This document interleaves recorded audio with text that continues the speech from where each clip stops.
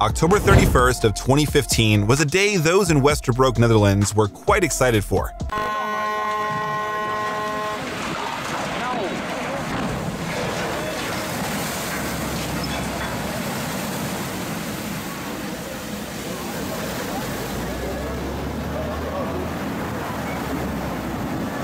Westerbroek is home to one of the largest shipyards in the country. Today, this small Dutch village has a population of 865, many of whom work at the shipyard. For this reason, it is usual for the locals to gather every time a launch takes place.